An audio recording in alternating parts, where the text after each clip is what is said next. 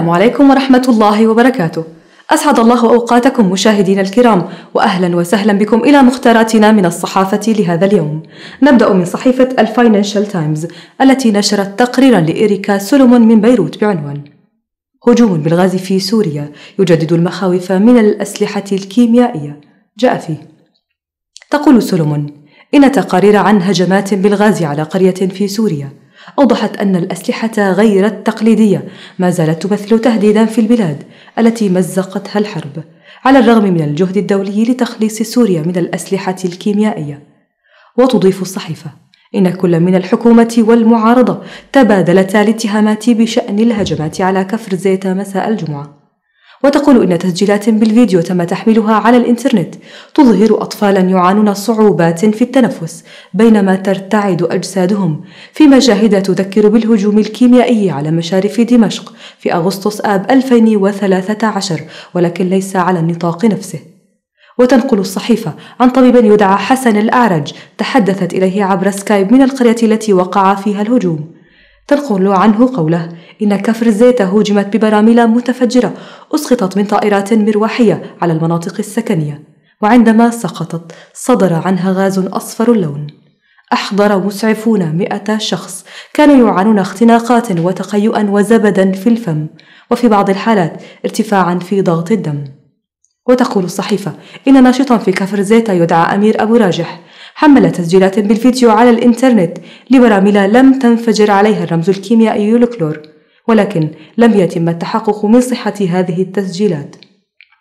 تقول الصحيفة إن الكلور ليس من بين المواد التي يتم تدميرها أو شحنها خارج سوريا من قبل الأمم المتحدة ومنظمة الحد من انتشار الأسلحة الكيميائية.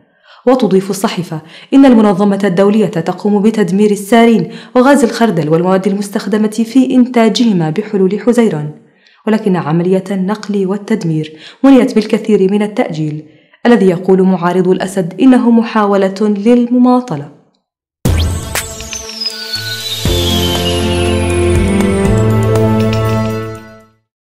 نواصل مشاهدينا مع وكالة أنباء الأناضول التي نشرت تقريرا عن ندوة جامعية بعنوان المأساة السورية. جاء فيه. نظمت كلية الإعلام في جامعة أونون إينونو بمدينة ملاطيا شرقي تركيا ندوة بعنوان المأساة السورية. تناولت خلالها أبعاد الأزمة السورية والأوضاع التي يعيشها السوريون منذ انطلاق الثورة في آذار 2011 وألقى مدير الأخبار في إفريقيا والشرق الأوسط بوكالة الأناضول للأنباء توران كيشالاجي. كلمة أوضح فيها أبعاد المأساة التي يعيشها السوريون منذ بدء الحكم البعثي عام 1963 وأفاد كيشالاجي أن عدد القتلى الذين سقطوا خلال الفترة بين 1963 و 2010 حوالي 400 ألف شخص.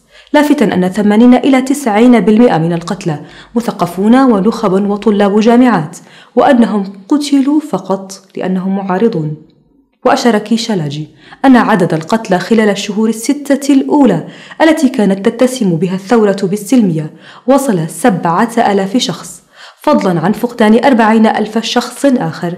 قائلا النظام السوري قتل عشرات الآلاف خلال الفترات الأولى للثورة فضلا عن الجرحى والمفقودين. وأضاف أن الأناضول نشرت في شهر شباط الماضي صورا لعمليات التعذيب التي قام بها النظام السوري قائلا الأسد قام بمجازر كبيرة وجماعية كثيرة. وسنتحدث عن هذه المجازر ونرى آثارها بعد سقوط الأسد. مثل تحدثنا الآن عند اكتشافنا للمقابر الجماعية جراء عمليات القتل والتعذيب التي قام بها ميلوسوفيتش في البوسنة والهرسك. وتطرق حاتم العلي أحد المتحدثين السوريين الذين شاركوا في الندوة للدور التركي قائلا التاريخ سيكتب ما قامت به تركيا تجاه الأزمة السورية وكيف تعاملت مع اللاجئين الذين فروا من بلادهم واستضافتهم وآوتهم؟ وأثنى العلي على رئيس الوزراء التركي رجب طيب أردوغان لما قام به نحوهم وقدم له الشكر على حسن الضيافة وإيوائهم في مخيمات في ظروف معيشية جيدة مقارنة بالدول الأخرى.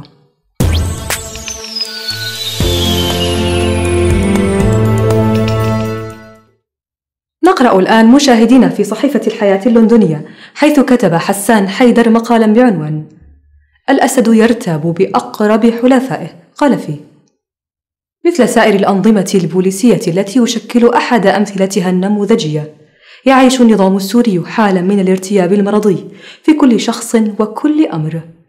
فتعدد أجهزة الأمن والاستخبارات وكثرة عناصرها ومخبرها. تجعل كل مواطن مشبوها يفترض تصنيفه ضد النظام أو معه.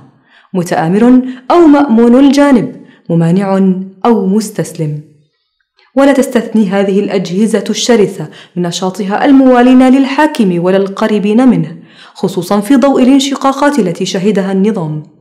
لكن هذه الريبة بدأت تطال الحلفاء الخارجيين الذين يستميتون في الدفاع عن حكم بشار الأسد مثل إيران وحزب الله والميليشيا العراقية المعروفة باسم لواء أبي الفضل العباس ووسائل الإعلام التابعة لهم. والتي لا هم لها سوى التطبيل لحاكم دمشق والدفاع عن إنجازاته التي أودت حتى الآن بحياة 150 ألف سوري.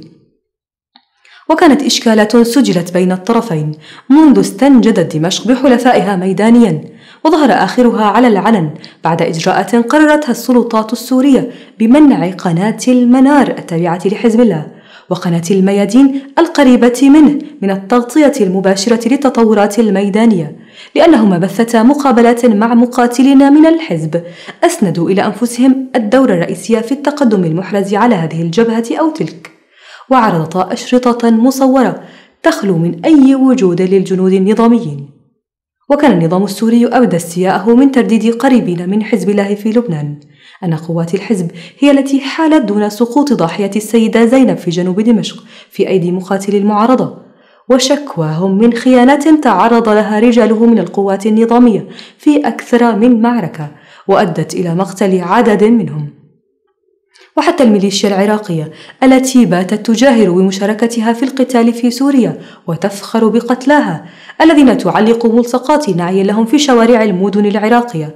تظل غير موجودة في عرف النظام السوري الذي لا تأتي وسائل إعلامه على أي ذكر لها ولا تنسب إليها أي فضل. أما حزب الله فبات مضطرا بعد كل معركة يخوضها رجاله إلى تسليم المنطقة التي يتقدمون فيها على الفور إلى جنود الأسد. كي يصورهم التلفزيون الحكومي وهم يرفعون صور رئيسهم. وقبل أيام عندما احتفلت قناة المنار بما أسمت العملية النوعية لتفجير فيلا في منطقة القلمون قالت إن عددا من خبراء التفجير في المعارضة السورية قتلوا فيها وعرضت صورتين للفيلا قبل تفجيرها وبعدها. رد التلفزيون الحكومي السوري بتأكيد أن وحدة خاصة من القوات النظامية هي التي قامت بالعملية. إنها الطبيعة الأمنية للنظام السوري التي تجعله لا يثق بأحد خارج بطانته المباشرة وتدفعه إلى الشك حتى في أقرب حلفائه وخصوصا في زمن الحرب. نواصل الآن مع صحيفة الشرق الأوسط حيث كتب حسين الشبكجي مقالا بعنوان سوريا وأضعف الإيمان قال فيه سوريا وأضعف الإيمان ما الخبر الأهم في العالم العربي؟ وسط عاصفة الأنباء المتلاحقة التي تشبه الشلالات العنيفة والمتدفقة بقوة مهولة.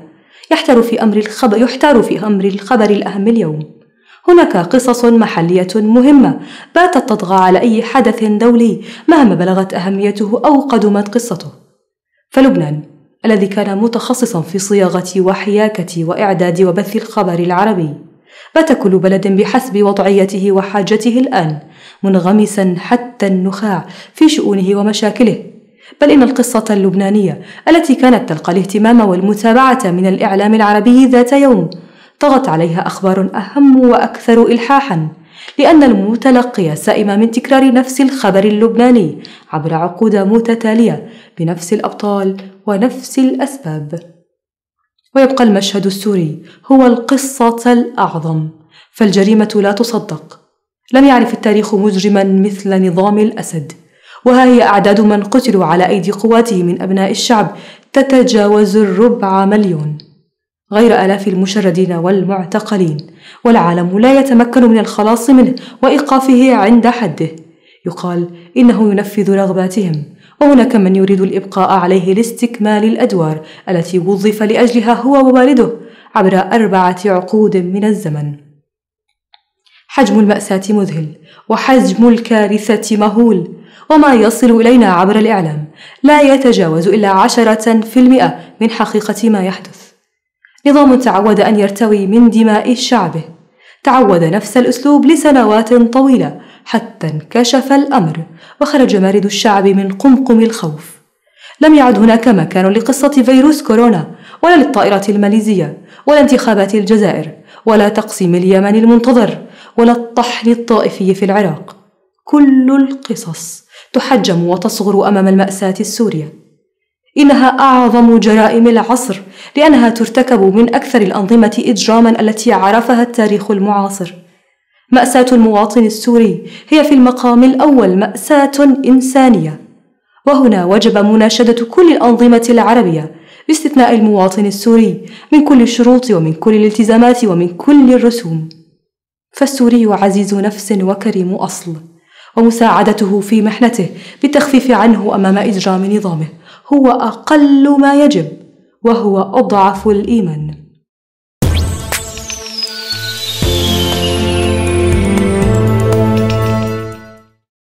نتابع معكم مشاهدينا حديث الصحافة وننتقل الآن إلى موقع كلنا شركاء حيث كتب مروان حج الرفاعي مقالا بعنوان لا للخيانات. لا للتسويات. قال فيه لا للخيانات ولا للتسويات التي يسوق لها النظام المجرم بين ضعاف النفوس وممن زرعهم النظام واخترق بهم صفوف الثوار. نقول لمن ركب غمار الثورة لدواع مختلفة مادية أو فئوية. وظن أن الثورة أيام أو أشهر معدودة ويظفر بالنصر والغنائم والنحل ويسجل اسمه في سجل الخالدين. بإمكانك أن تأخذ استراحة محارب أو تلقي سلاحك وتعطيه لإخوانك الثوار وتنسل تحت جنح الليل خارج الأحياء المحاصرة والثغور بصمت وهدوء. لك ما لك وعليك ما عليك. أما من يسوق ويروج من ضعاف النفوس وممن زرعهم النظام واخترق بهم صفوف الثوار ومن يقوم بالتسوية مع النظام المجرم ويخرج بسلاحه ويقوم بتسليمه بدل أن يتركه للثوار وهم بأمس الحاجة إليه على الجبهات والثغور. ويدلي بما لديه من معلومات عن المحاصرين الثوار أو المدنيين أو يفشي بأسماء الداعمين للثوار. فإن فعلا كهذا. هو جرم الخيانة العظمى للأرض والأهل والوطن ولدماء أطفالنا وشهدائنا. فلا عصابه اسد المجرمه ستمنح من قام بالتسوية بعد الاستسلام الأمن والأمان. وكلنا يعلم بأن ديدن عصابات الأسد الطائفية الغدر والإجرام وسيرى ذلك عاجلا غير آجل. وسيلحق به الخزي والعار بين أهله ووطنه نتيجة خيانته وغدره. ومن ظن أنه سينجو بفعلته من يدي النظام فلن ينجو لاحقا من المحاكمة الوطنية العادلة. فالنظام ساقط بإذن الله لا محالة. وكل من أجرم وخان غدر بحق السوريين لن يفلت من العقاب. الثورة ماضية في طريقها بأيد مخلصة وأرواح طاهرة حتى تحقيق أهدافها. وإننا بإذن الله ربنا لمنتصرون.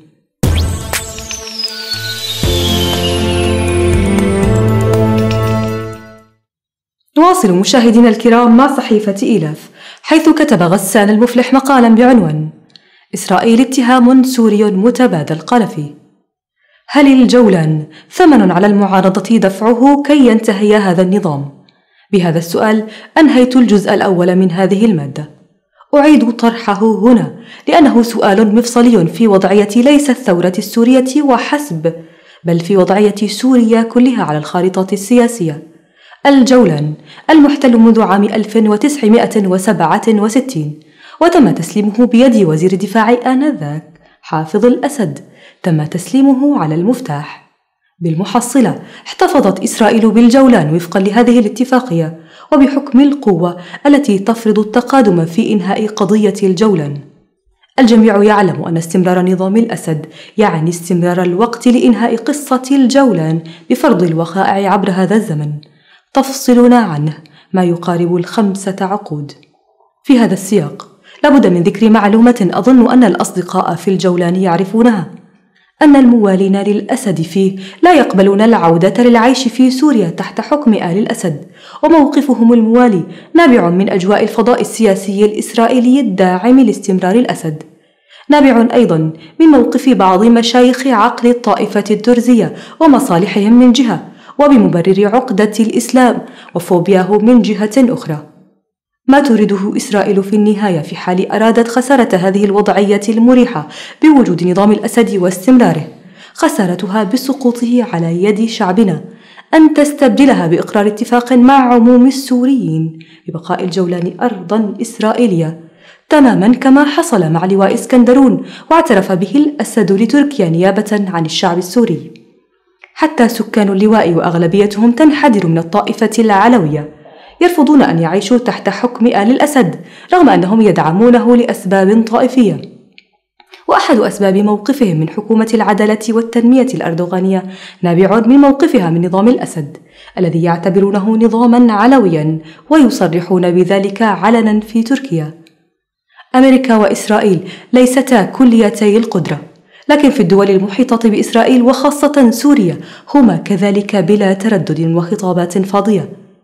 عندما تسمح إسرائيل لحزب الله وميليشيات إيران أن تكون موجودة على حدود أخرى لها معنى ذلك أنها تريدهم هنا. فمن لم يخف من حزب الله وإيران سيخاف من غيرهم. لهذا إسرائيل طرف داخلي فيما يحدث بسوريا وستبقى كذلك. نواصل الآن مع موقع مركز الشرق العربي للدراسات حيث كتب زهير سالم مقالا بعنوان على جدول أعمال من يهمه الأمر كيف نمنع مسرحية الانتخابات أو نفضحها؟ قال فيه تابعت مع المتابعين نتائج اجتماع الهيئة العامة للائتلاف الوطني مرة أخرى. أتذكر شعرا لأبي القاسم الشابي في أطفال الشاطئ يبنون بيوتهم الرملية. نبني فتهدمها الرياح فلا نضج ولا نثور. نتابع في الفضاء السياسي الدولي والإقليمي والوطني الداخلي أحاديث متواترة عن اعتزام بشار الأسد تمرير مسرحية جديدة لإعادة انتخابه رئيسا وسط الدماء والأشلاء والدمار. مسرحية يتم الإعداد لها داخليا بكل مستلزمات الإخراج بدءا من تقنينات مجلس الشعب وانتهاء بتأكيدات عمران الزعبي أن الانتخابات ستجري تحت إشراف الحكومة السورية وبشفافية مطلقة. وأنه لا عوائق أمنية تعيق إجراءها. نتذكر أن العوائق الأمنية تعيق تسليم شحنات الأسلحة الكيميائية ويتم الإعداد لهذه الانتخابات المسرحية إقليميا بتطمينات نائب وزير الخارجية الإيرانية عبد الليان أن إيران لا تتمسك بالأسد إلى الأبد ذلك أنهم يريدونه ليمرروا على كاهله المرحلة القادمة فقط سبع سنوات. ثم في تأكيدات حسن نصر الله أن مرحلة سقوط الأسد قد أصبحت وراء الظهر. ثم فيما أعلنه نعيم قاسم نائب حسن نصر الله لرويترز أمس أن على العالم وعلى السوريين أن يقبلوا ببقاء بشار الأسد رئيسا. لأنه سيترشح وسينجح. ونبرة القول التي يقول تؤكد أنه سينجح في صندوق الانتخاب بقوة السلاح. وعلى العالم وعلى السوريين أن يقبلوا ذلك بقوة السلاح أيضا. وسط كل هذه التجاذبات والضجيج لا شيء عملي ينقل عن قوى المعارضة السورية في ائتلافها وهيئاتها وجماعاتها وأحزابها وقواها وكتائبها. نتحدث عن خطة عملية لمواجهة هذه المسرحية التضليلية بخطواتها وآلياتها واستعداداتها. ذلك ما كان السوريون ينتظرونه من اجتماع الهيئات العامة لقوى المعارضة. بيان الإدانة الباهت صف الحكي الذي يقدر عليه الفرد لا يكفي في هذا المقام. ومن هذه الجهات اليوم وثلاثة أشهر تقريبا تفصلنا عن مسرحية تزوير إرادة السوريين. المطلوب من قوى المعارضة الجادة وليس الهازلة العاملة وليس العابثة.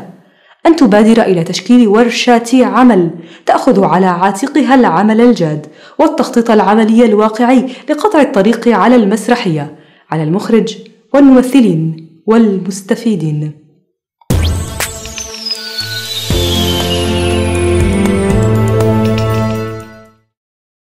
نصل مشاهدينا الكرام إلى آخر مقالاتنا في حلقة اليوم حيث نشرت صحيفة عين المدينة مقالا بعنوان في حاجة الثورة إلى نظام قالت فيه لا تفتقر الثورة إلى العقول المتميزة في مجالات مختلفة. فقد حرضت طاقات وأذهان أعداد يصعب إحصاؤها بعد طول ركود في كآبة وخواء حكم الأسد وابنه. لكن ما بات ملحا هو وجود نظام ذي طابع مركزي يحكم مسارتها العسكرية والمدنية في خطوط عامة. وقد مر الوقت الذي كنا نتغنى فيه بالعفوية التي ميزت عام الثورة الأول حين قامت على بؤر متباعدة في أنحاء البلاد. مما جعل من المستحيل على أجهزة الأمن أن تقضي عليها باستئصال عمودها الفقري لأنه ببساطة لا وجود له أصلاً. لكن ومنذ العام الثاني للثورة وحتى الآن تزداد الحاجة إلى كتل كبرى تندرج في مشروع موحد تقوده بخطوات مدروسة ضمن خطط تتكامل بالنظر إلى الخريطة السورية بشكل عام. بالتركيز على الأفق الضيق للمنطقة أو المدينة الواحدة. ورغم البطء الملحوظ والمضر تسير الأمور في هذا السياق. من النواحي العسكرية والمدنية والخدمية ودون ذكر أي تجربة بعينها يمكن للمراقب تلمس معالم التيارات العريضة في الأنحاء الفسيحة لروح الثورة. تلتئم وتنمو وتنتظم في هياكل تأخذ مهامها بجدية متزايدة. وتسعى إلى تنظيم عمل كوادرها بشكل تكاملي واحترافي. هذه هي طبيعة المرحلة، غير أن هذا لا يعفي أيا منا من القيام بمسؤولياته في الدفع في هذا الاتجاه، ودعم هذه الطبيعة حتى تصبح واقعا معاشا. والحرص على روح العمل الجماعي وما يتطلبه من ميزات وواجبات لم نعتدها حتى الآن. بهذا مشاهدينا الكرام تنتهي جولتنا في حديث الصحافة لهذا اليوم.